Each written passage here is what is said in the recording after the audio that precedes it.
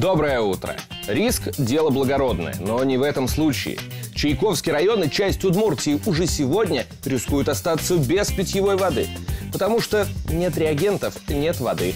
А реагентов для очистки воды нет, потому что денег нет.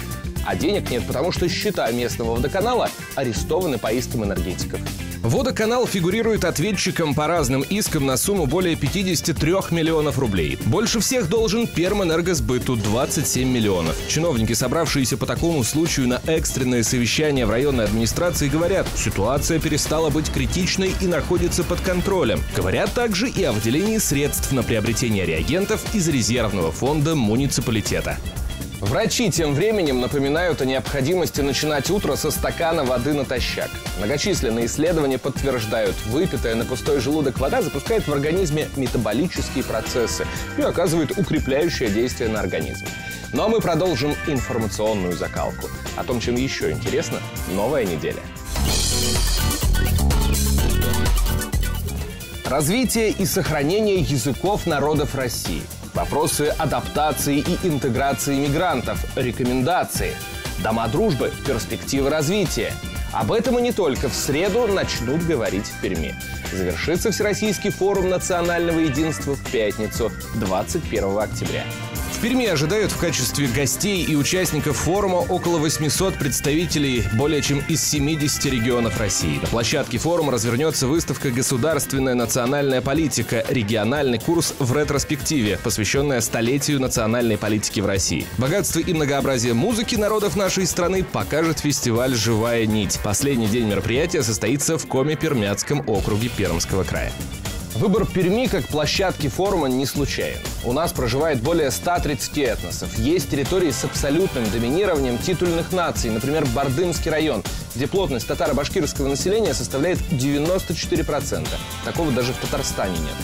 И самое приятное, что также можно считать критерием успешности работы в этом вопросе, что сфера межнационального в обыденной жизни у нас незаметна.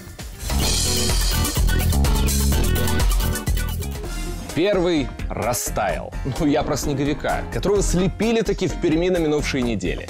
Комментарии пользователей соцсетей и авторов первый никомом и слепили из того, что было. В том, что это только начало, сомневаться не приходится. Синоптики вот сегодня прогнозируют мокрый снег. И завтра. 19 октября весьма вероятно похолодание с повсеместным переходом температуры через ноль, а в ночные часы до минус 5, минус 7 градусов. Формирование существенного снежного покрова не ожидается до 20-х чисел. То, что выпадет сегодня-завтра при температуре плюс 1, плюс 3, растает. По востоку же Пермского края в горной части снежный покров сохранится, а его высота к концу недели может составить до 10 сантиметров.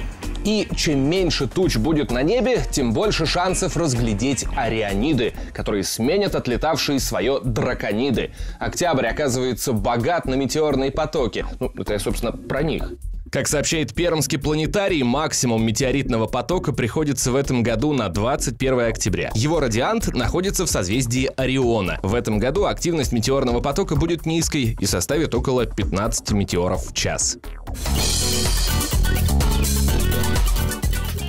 Как стать миллионером за 50 тысяч рублей? Легко, рассказал всему интернету маркетолог Роман Зарипов.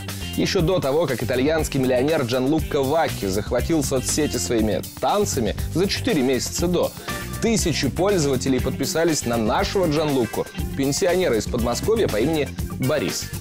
Дорогие машины, костюмы, спа и, конечно, молодые девушки. Под каждым постом тысячи лайков и комментариев. А здесь Борис приобщает голубей к французской кухне при помощи свежих багетов из пекарни. И все это удачный пиар-проект. По словам маркетолога Зарипова, идея создания вымышленной персоны появилась после прочтения статьи, посвященной раскрутке звезд.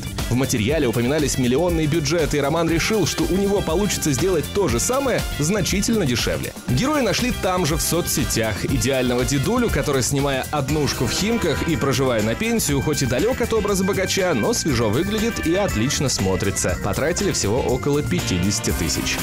Какой из этого можно сделать вывод? Да никакого. Просто спустя полгода продолжаю удивляться, как потратив 50 тысяч рублей за два месяца можно сделать так, чтобы в несуществующего человека поверили несколько десятков тысяч взрослых людей, ни на секунду не смутившись, завершает свой рассказ Зарипов. Затем завершаю свой рассказ и я, и желаю вам проверенной информации, приглашаю. Оставайтесь на Ветте. До встречи.